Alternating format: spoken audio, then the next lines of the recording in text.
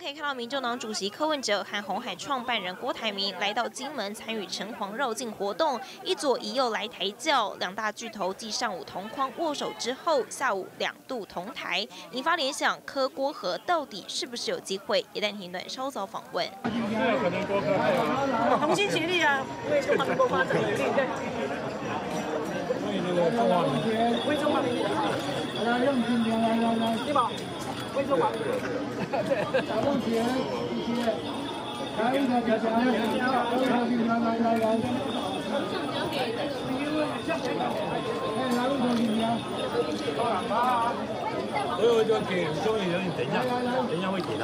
好，是可以听到郭台铭被问到郭科和或者是柯郭和有没有可能挺郭派的立委陈玉珍是先回答说同心协力啦。那郭台铭也随后回答说为中华民国。柯文哲则是也笑笑回答说对啦对啦。至于同框赖清德的时候有给他和平宣言，郭台铭是也说等一下也会给柯文哲。究竟柯郭和有没有机会，谁会是坐轿者，也留给外界想象空间。